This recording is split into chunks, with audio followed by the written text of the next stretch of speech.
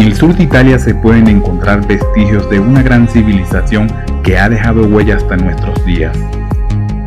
Ubicado en Salerno, Italia, el Parque Arqueológico Paestum fue un importante asentamiento griego fundado en el año 600 a.C., llamada por sus fundadores Poseidonia en honor al dios griego del mar Poseidón.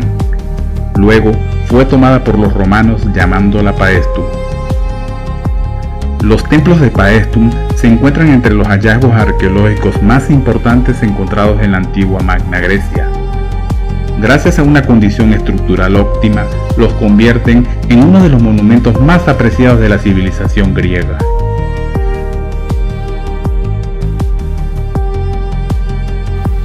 Templo de Atenea El templo de Atenea, diosa de la sabiduría y de las artes, data del año 500 a.C. y dentro de la arquitectura griega responde al estilo dórico dentro del periodo arcaico. El templo fue originalmente atribuido a Ceres, pero durante las excavaciones se encontraron numerosas estatuillas de terracota de la diosa Atenea. Se trata de un templo dórico con seis columnas a lo ancho y 13 a lo largo. Fue construido en piedra caliza y es uno de los templos más representativos de ese periodo.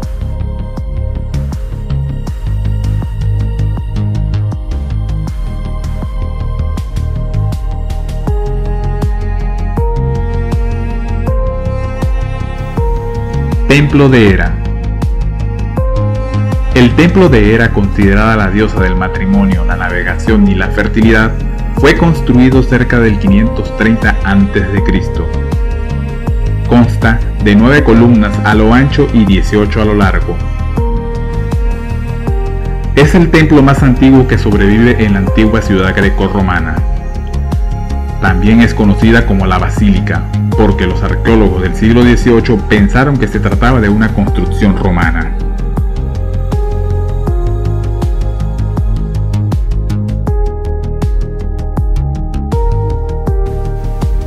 Templo de Neptuno. Construido a mediados del 460 a.C., es el templo más grande de Paestum y sin duda el más apreciado por los visitantes del sitio arqueológico. En el siglo XVIII se le atribuyó erróneamente a Neptuno y ha conservado su nombre desde entonces, aunque muchos creen que se dedicó a Zeus o a Apolo, se trata de un templo dórico. Su construcción consta de 6 columnas a lo ancho y 14 a lo largo, de casi 9 metros de altura, y con un tejado de dos aguas de terracota.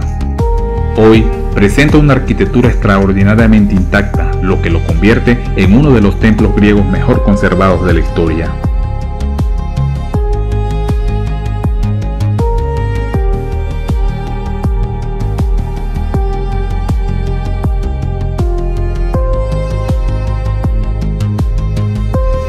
Ecclesiasterium. Es una especie de pequeño anfiteatro que albergaba el Consejo de la Polis en la antigua Grecia. Se encuentra en un excelente estado de conservación y era usado como sitio de reuniones públicas para tratar temas políticos. Aquí debatían infinidad de problemas que afectaban a Paestum.